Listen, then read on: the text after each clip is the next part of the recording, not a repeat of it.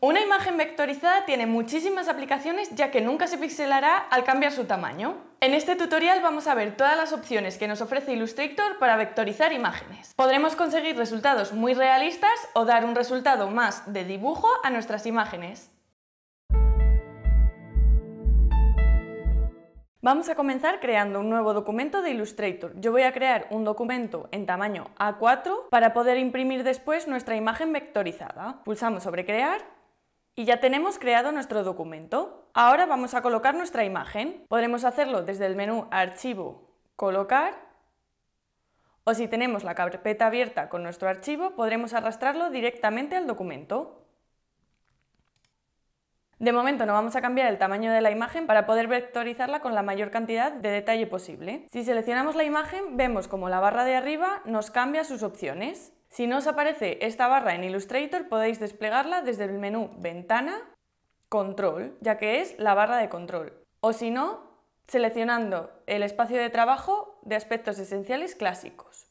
Para vectorizar esta imagen lo que tendremos que hacer será seleccionarla y en el panel de control nos aparecerá la opción de calco de imagen. Si desplegamos en la flechita veremos las opciones que nos da. Cada uno de estos calcos nos dará un resultado diferente dependiendo del detalle que queramos conservar de nuestra imagen. Si por ejemplo queremos una imagen vectorizada con no muchos detalles, simplemente que parezca más un dibujo, podremos seleccionar la opción de 16 colores. En este caso nos indica que nuestra imagen es muy grande y que el proceso de vectorización puede ser muy lento. Para agilizar este proceso podremos bajar la resolución de nuestra imagen desde el menú Objeto, Rasterizar. Vamos a hacerlo para que no nos lleve tanto tiempo, cancelamos la operación y en el menú Objeto seleccionamos Rasterizar. Una vez lo tengamos podremos volver al menú Calco de imagen y seleccionar 16 colores. Cuando hayamos obtenido el resultado que queremos de nuestro calco de imagen podremos expandir para que nos genere los vectores que podremos modificar. Por ejemplo, con la herramienta de selección directa que podemos seleccionar pulsando la tecla A, podremos seleccionar cada uno de estos elementos por separado. Por ejemplo, podríamos eliminar el fondo de esta imagen. Pulsando sobre suprimir, iremos eliminando cada uno de los elementos. Como hemos dicho, cada una de las opciones del calco de imagen nos dará un resultado diferente. En este documento tengo preparados cada uno de los resultados que nos da el calco de imagen en esta fotografía.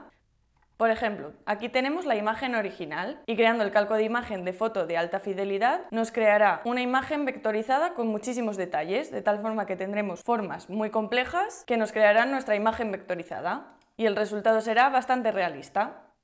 Por otro lado tenemos la foto de baja fidelidad que nos dará un resultado bastante más simple con menos formas. Después tenemos los calcos con colores, en este caso el calco con tres colores. Como veis únicamente tenemos tres colores por lo que apenas nos detecta las formas de nuestra imagen. En el calco de seis colores ya nos detecta más partes, pero aún así seguimos teniendo muy pocos detalles. Y ya con el calco de 16 colores, como hemos visto antes, obtenemos un resultado bastante mejor. Y por último tendremos la sombra de grises que nos generará una imagen vectorizada en tonos grises. Espero que el vídeo haya sido de ayuda. Si es así, dale a me gusta y si quieres ver más vídeos como este, suscríbete a nuestro canal y activa las notificaciones para no perderte nada. Nos vemos en el siguiente tutorial.